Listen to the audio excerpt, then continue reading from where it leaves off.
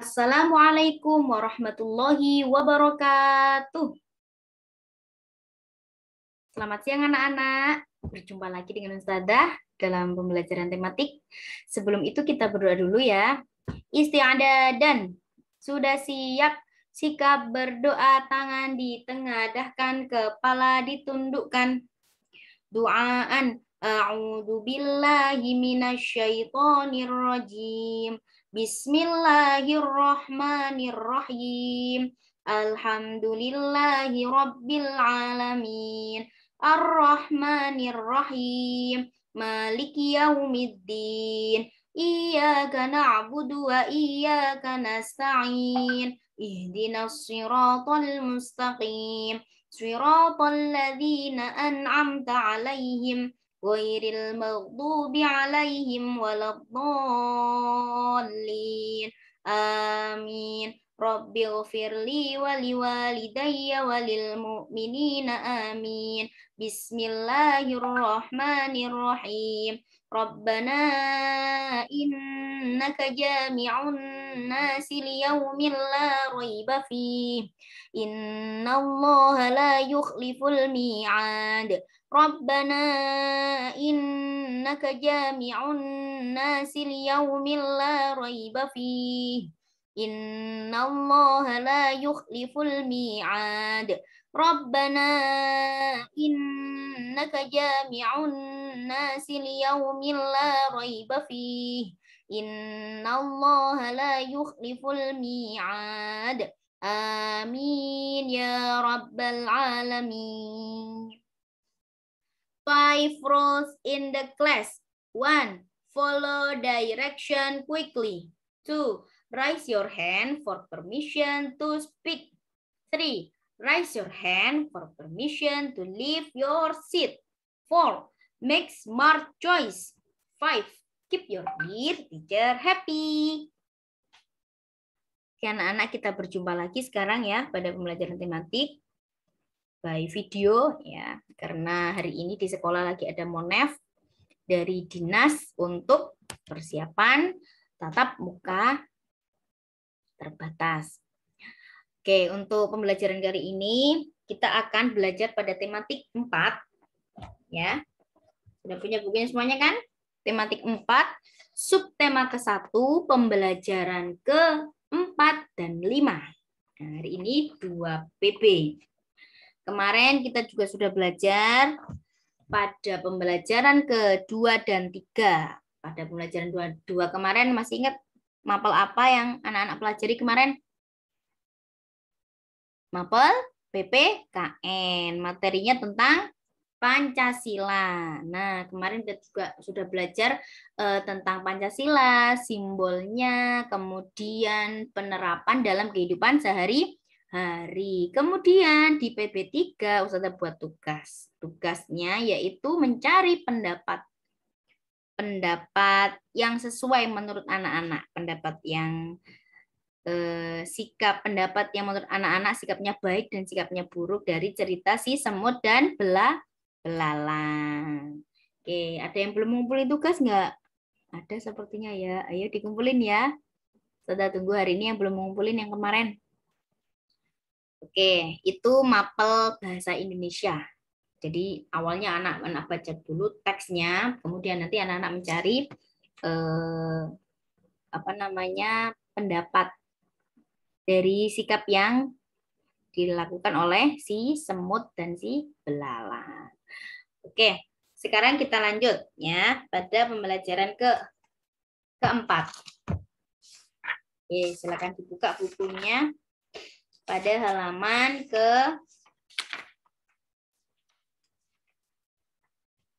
dua puluh delapan. Oke, pada pembelajaran 20 ke 8, halaman 28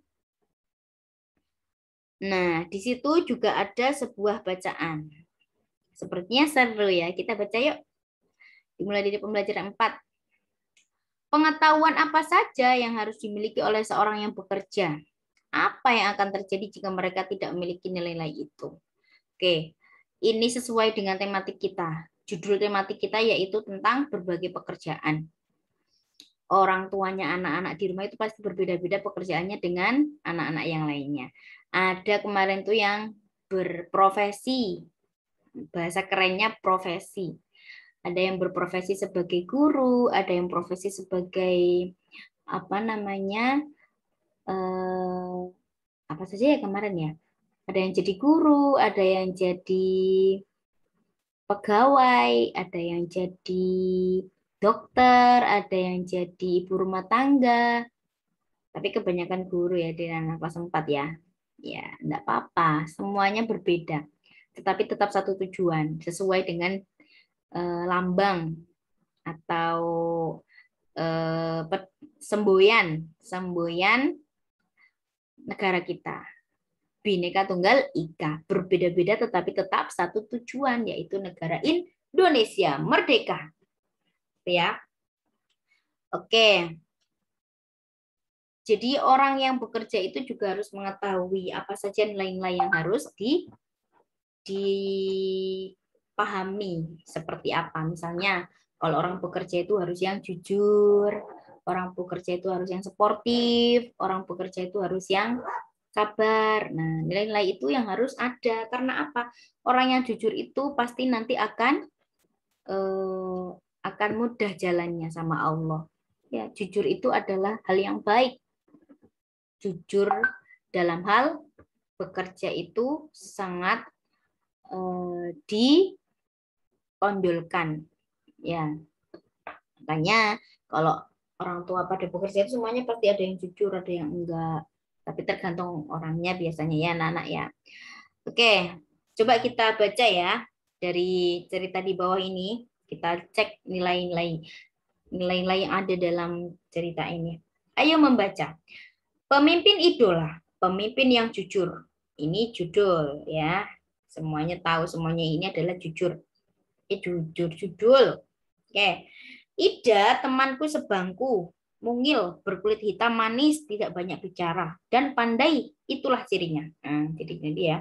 Ia seorang anak yang sederhana. Ayahnya sudah lama meninggal. Ia tinggal bersama ibu dan adiknya.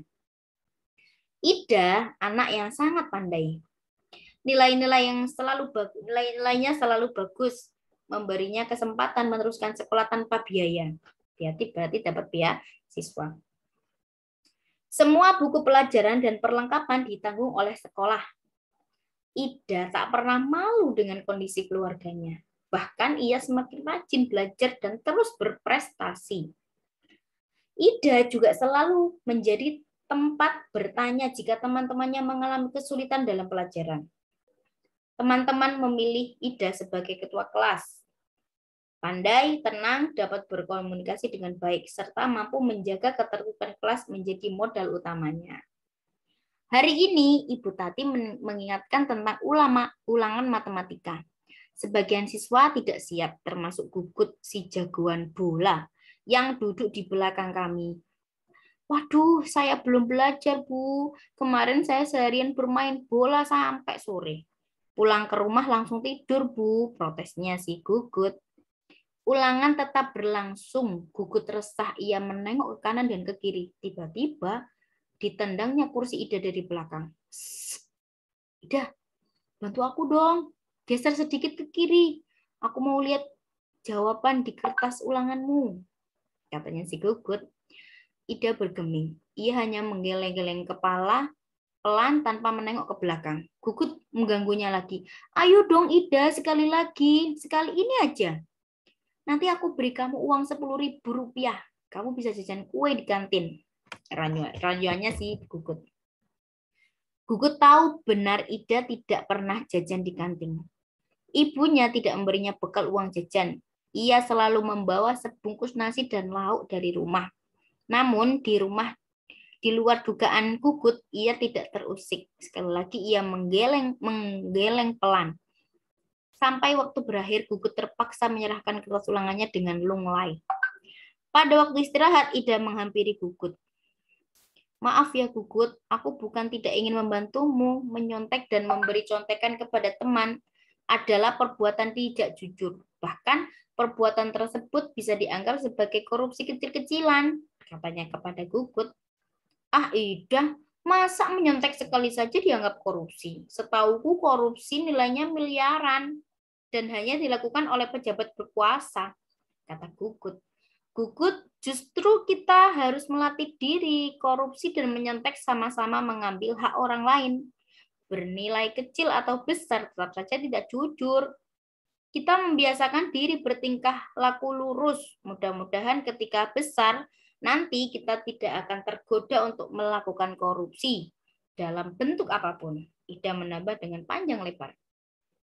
Aku dan teman-teman sekelas yang ikut mendengarkan percakapan Ida dan Gugut terdiam setuju. Memang tidak salah kami memilih Ida sebagai pemimpin di kelas.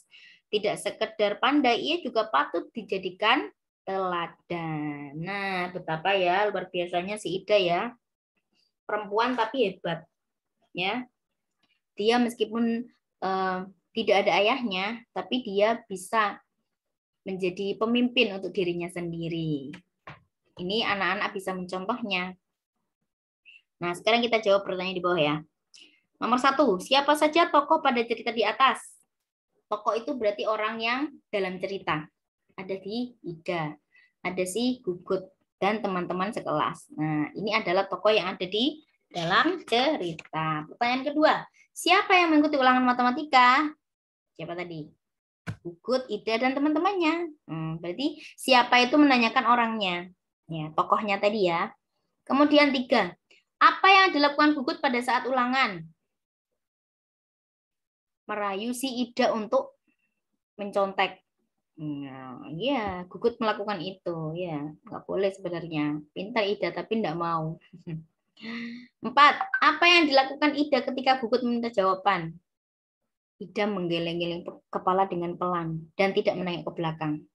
Nah, itu bisa anak-anak lakukan. Jadi kalau anak-anak misalnya ulangan di sekolah nih ya, terus teman aja, temannya ada yang nggak bisa, senggol-senggol dari belakang.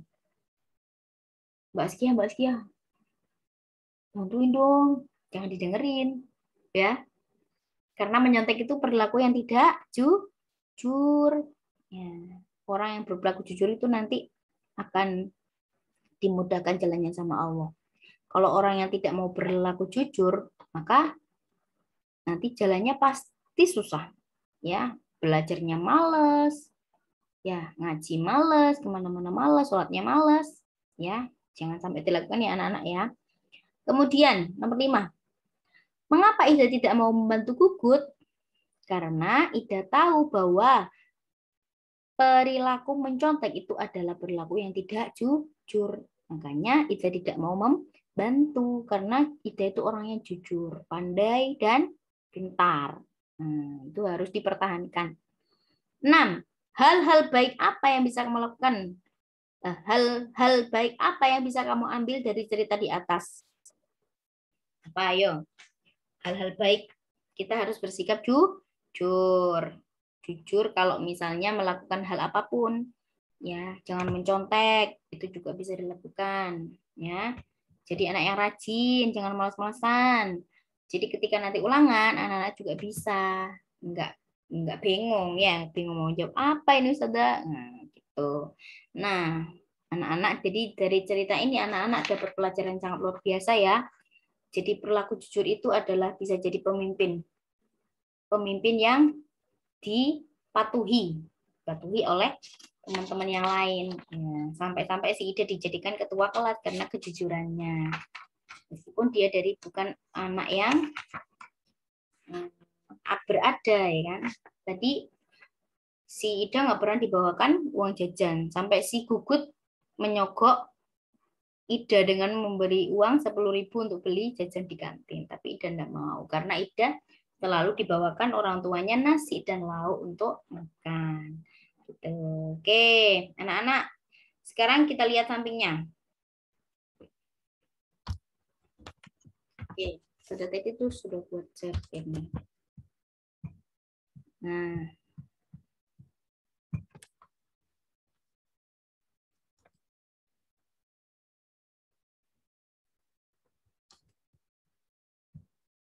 Oke. Tadi sudah selesai baca. Sekarang bawahnya. Nah, sikap Ida. Sikap-sikap dari Ida, jujur, terus teladan, Nah, itu juga sikap. Sikap dari kukut, pemalas, terus apa lagi? Nah, ya. Pendapat anak-anak tentang sikap si Ida. Bagaimana pendapatnya? Pendapat itu bebas. Pendapat itu apa yang anak-anak eh, rasakan. Maksudnya anak-anak merasa bahwa ini tuh bagaimana. Itu namanya pendapat. Gitu ya. Pendapatnya si Ida dan si Gugut ini nanti dikerjakan aja ya. Biar satu tahu eh, bagaimana anak-anak menilai dari pendapat apa sikap ide dan si kukut dan pendapatnya anak-anak. Oke, itu anak-anak ya. Kemudian pada halaman 32. Nah, di poin yang ketiga.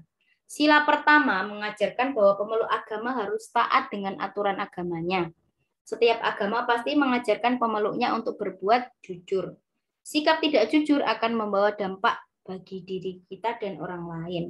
Hmm.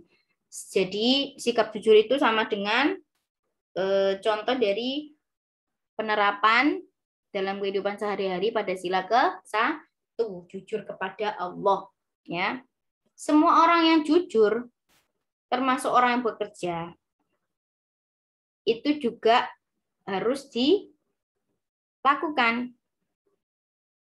karena apa karena orang yang jujur itu nanti akan mendapatkan rezeki yang halal kalau bagi yang bekerja ya. Kemudian kalau dia lagi sedang sedang sekolah kemudian tidak jujur maka dia mengambil hak orang lain. Contohnya seperti ini. Gugut itu adalah orang yang tadi malamnya itu tidak belajar karena main bola sampai sore. Ya sampai sore ya benar ya. Berarti dari pagi sampai sore. Hmm. Karena main bola terus, akhirnya ketika ulangan dia nggak bisa dia pengen nyontek, dia pengen nilainya bagus. Nah, itu kan bukan haknya. Karena apa? Yang berhak untuk mendapat nilai bagus itu yang tadi malamnya berusaha, yang tadinya berusaha dulu baru dapat nilai yang bagus. Tapi karena nggak usaha, tapi dia pengen dapat, berarti dia mengambil hak orang lain. Nah, itu ya. Jadi anak-anak diingat-ingat, jangan pernah menyontek. Meskipun tidak bisa, tetap optimis. Saya pasti bisa dikerjakan semampunya gitu ya anak-anak oke itu tentang pembelajaran keempat sekarang kita beralih pada pembelajaran kelima pada halaman 37 nah di situ ada jenis-jenis pekerjaan dalam tabel dan kegiatannya nah ini pasti anak-anak tahu ya kalau guru itu pekerjaannya apa kegiatannya ya mengajar nah itu job kalau penjaga sekolah membersihkan lingkungan sekolah. Ada tiga kolom lagi, kira-kira apa ya? Misalnya dokter. Apa kegiatannya? Kegiatan dokter adalah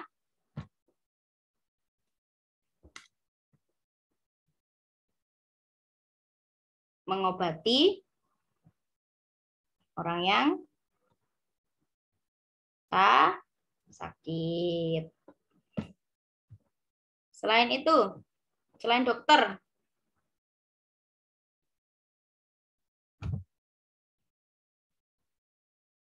Ayo apa lagi? Masih ada dua ini, empat. Empat sama lima. Polisi misalnya apa? Jadi polisi. Kegiatannya adalah men menjaga keamanan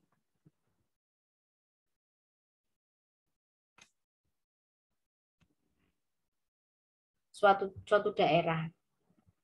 Hmm. Di setiap daerah kan ada polisinya. Hmm, dia yang berhak untuk menjaga keamanan dan menertibkan keamanan dalam suatu daerah tersebut. Oke, selain dokter, polisi, terus apa lagi?